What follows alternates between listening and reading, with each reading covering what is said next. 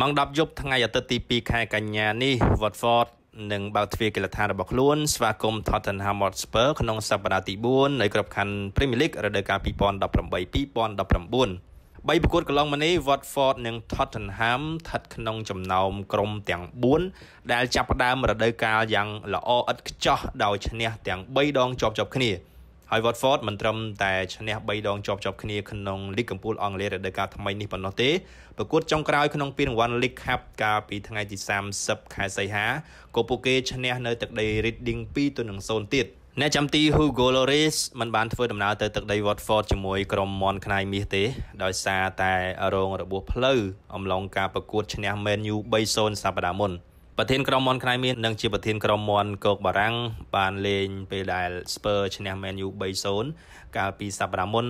បន្ទាប់ពីរងការចោទប្រកាន់បើកបរទាំងមានស្ថានភាពស្រវឹងបើទោះបីជាឆ្នាំ3ដងជាប់ជាប់គ្នាក៏ប៉ុន្តែលោក Mauricio Pochettino អ្នកចាត់ការរបស់ Spurs បានពមៀនកីឡាកររបស់ខ្លួនដើម្បីជាការដាស់តឿនក្រៅរំលឹកថាក្រុមនឹងជួបភាពវេទនាបើសិនជាពួកគេគិតថាពួកគេកំពុងតែល្អហើយហើយ អស្ចារ្យហើយដោយភ្លេចខ្លួននៅក្នុងការប្រកួតលោក Pochettino បាននិយាយថាការប្រកួតឈ្នះ Man U 3-0សប្តាហ៍មុនហ្នឹងនៅក្នុងតង់ទី1ក្រុមលេងអត់សូវបានល្អទេហើយលោកអត់សប្បាយចិត្តទេ តែពេលសម្រាប់15នាទីគាត់បាននិយាយទៅកាន់កីឡាករហើយកីឡាករធ្វើបានល្អវិញនៅក្នុងវគ្គទី2ចំណែកលោក Javi Gracia ដែលជាអ្នកចាត់ការរបស់ Watford វិញក៏កំពុងតែចង់ឲ្យក្រុមរបស់ខ្លួនរក្សាទម្រង់ដូចខណៈនេះដែលបានឈ្នះ4ប្រកួតចុងក្រោយជាប់ជាប់គ្នា លោកបាននិយាយថាគ្រប់ការប្រកួតសុទ្ធតែសំខាន់ហើយបន្ទាប់ពីឈ្នះ3ប្រកួតជាប់ជាប់គ្នាក្រុមរបស់លោកដឹងថាខ្លួនឯងមានឱកាសដើម្បីឈ្នះការប្រកួតក្នុងផ្ទះមួយទៀតជាមួយនឹងអ្នកគ្រប់គ្រងគ្រប់គ្រងនៅពីក្រោយខ្នងក្នុងកីឡដ្ឋានរបស់ខ្លួនឥឡូវនេះលោកបាននិយាយថាក្រុម Watford មានអារម្មណ៍ថាខ្លួនឯងខ្លាំងជាងមុននិងមានភាពសនុកចិត្តជាងមុន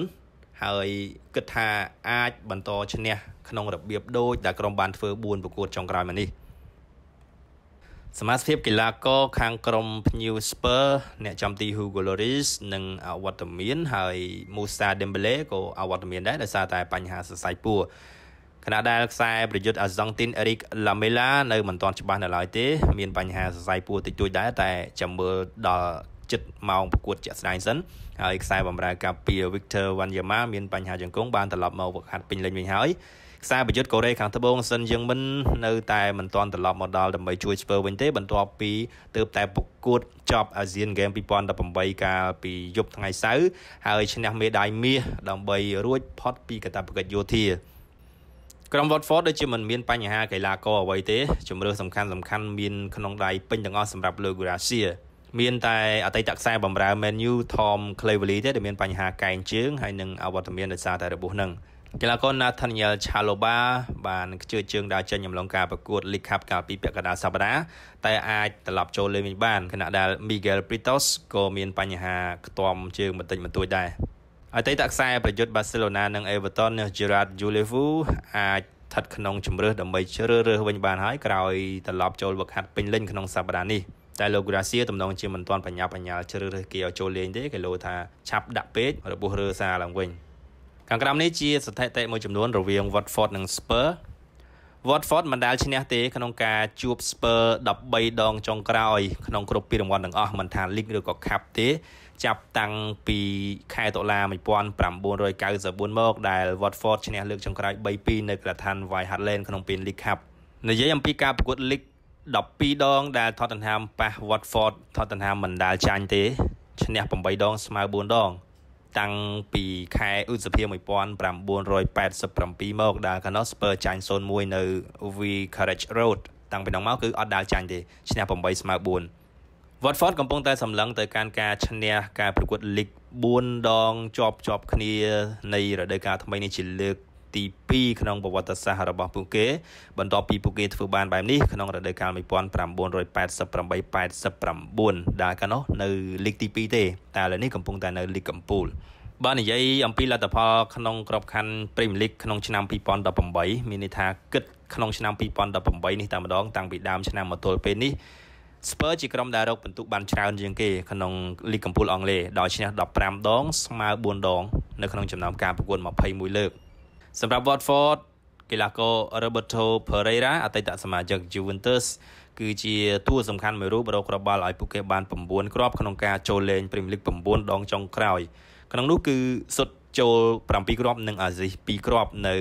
Vicarage Road ដែលជាទឹកដីរបស់ Watford នេះ Lucas Moura បានពាក់ព័ន្ធនឹងគ្រាប់បាល់8គ្រាប់ក្នុងការចាប់ផ្ដើមការប្រកួត8ដងសម្រាប់ Spurs ក្នុងគ្រប់ពីររង្វាន់ទាំងអស់គឺសុទ្ធចូល4គ្រាប់និងអាស៊ី4គ្រាប់ ខ្សែប្រយុទ្ធ Harry Kane របស់ Spurs រកបាន19គ្រាប់ពីការប្រកួត Premier League ថ្ងៃអាទិត្យចំនួន16ប្រកួតថ្ងៃអាទិត្យដូចជាថ្ងៃដ៏ល្អដល់ហើយបើមើលតាមស្ថិតិសម្រាប់ខ្សែប្រយុទ្ធ Harry Kane ប្រធានក្រុមជម្រើសជាតិអង់គ្លេសបច្ចុប្បន្នរដូវកាលមុននៅទឹកដី Watford ពេលទទួល Tottenham Hotspur ស្មើគ្នា1-1ហើយនៅទឹកដី Spur Spur ឈ្នះ2-0អញ្ចឹងសម្រាប់ការប្រកួតយប់នេះ ក្រុមទាំងពីរដែលកំពុងតែពេញហ្វមដូចគ្នាឈ្នះ3 4ប្រកួតចុងក្រោយរៀងរៀងខ្លួនជាប់គ្នានោះ Online Sports TV ក៏ថាយប់នេះនឹងមានក្រុមមួយត្រូវបញ្ចប់ស្ថិតិឈ្នះ100%ក្នុងរដូវកាលថ្មីនេះហើយដោយ Online Sports TV ក៏ថា Tottenham Hotspur នឹងឈ្នះនៅទឹកដី Watford ដោយលទ្ធផល2ទល់នឹង1អរគុណចំពោះការទស្សនានិងស្ដាប់របស់លោកអ្នកសូមជួយ Subscribe Channel YouTube របស់យើងខ្ញុំ Online Sport TV